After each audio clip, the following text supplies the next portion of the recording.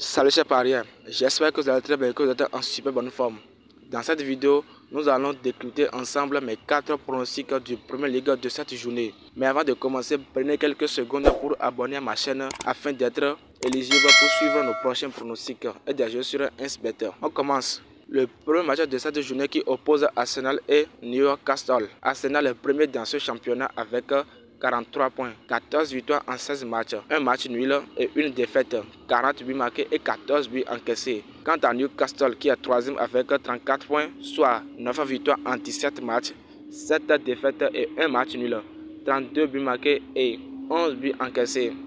Dans ce match, nous allons choisir l'option de plus 1,50 buts. Le prochain match de cette journée qui oppose Everton et Breton. Everton qui est 16e avec 15 points, 3 victoires en 17 matchs, 6 matchs nuls et 8 défaites. Quant à Breton qui est 10e avec 24 points, 7 victoires en 16 matchs, 3 matchs nuls et 6 défaites. 8 buts marqués et 24 buts encaissés.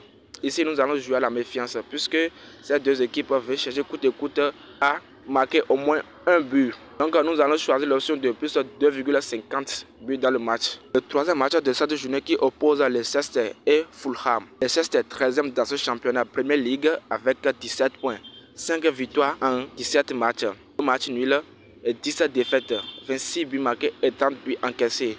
Quant à Fulham, 8e dans ce championnat avec 25 points, soit 7 victoires en 17 matchs, 4 matchs nuls et 6 défaites, 9 buts marqués et 27 buts encaissés.